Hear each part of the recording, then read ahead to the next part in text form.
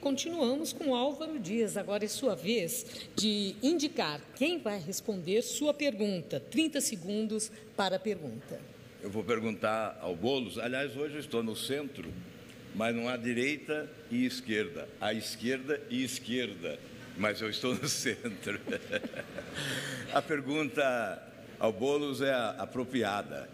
É, os últimos governos no Brasil beneficiaram os bancos e os banqueiros, em detrimento do trabalho, do trabalhador, do salário, da produção, da produtividade e do desenvolvimento. O Brasil se tornou um paraíso dos bancos.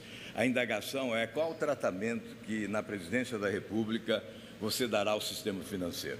Um minuto e meio, Boulos, para a resposta. Primeiro, boa noite, boa noite, Maria Lídia, boa noite a todos os candidatos, boa noite a você que nos assiste em casa. Nesse ponto, um dos raros pontos em que eu concordo com Álvaro Dias. Veja só que não são só as posições que estão trocadas aqui. O Brasil se tornou um paraíso dos banqueiros. É impressionante, é uma verdadeira Disneylândia financeira. Banco aqui faz o que quer. Esses dias, estava dialogando com um economista que me contou um exemplo do Banco Santander o Banco Santander, para uma mesma linha de crédito, na Espanha, sua matriz cobra juros zero. No Brasil, cobra 140%. Nós vamos acabar com a farra dos bancos. Primeiro, em relação à Bolsa Banqueiro, que são os juros abusivos que se cobra para a dívida pública no Brasil e que levam mais de 400 bilhões de reais ao ano. Enfrentando a Bolsa Banqueiro, nós temos condição de investir no social, de investir em educação, saúde, moradia popular, em tudo que o Brasil precisa. E segundo, baixando os juros que você paga no seu cartão, no cheque especial. Vamos fazer isso através dos bancos públicos, da Caixa Econômica e do Banco do Brasil.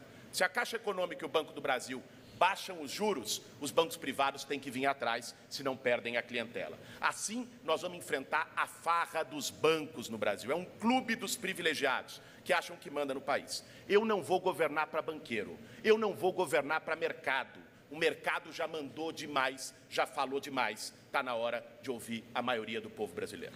Álvaro Dias, 30 segundos para a réplica. Os últimos governos contribuíram para a constituição de um monopólio de bancos no Brasil que definem a vida dos brasileiros. Quanto querem ganhar, quanto querem cobrar de taxas de juros. Em 2016, chegamos a 542% na taxa do cartão de crédito, taxa de juros do cartão de crédito, enquanto em Portugal é o Banco Central Português que define e lá 16% ao ano. Essa é a diferença. Aqui no Brasil, os nossos governos se tornaram reféns do sistema financeiro nacional.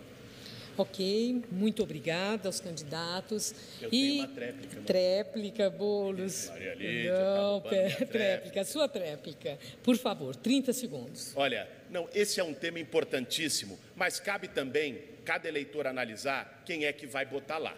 Porque não adianta botar banqueiro lá ele vai defender o interesse dos bancos. Não adianta bancar candidato financiado por banqueiro lá.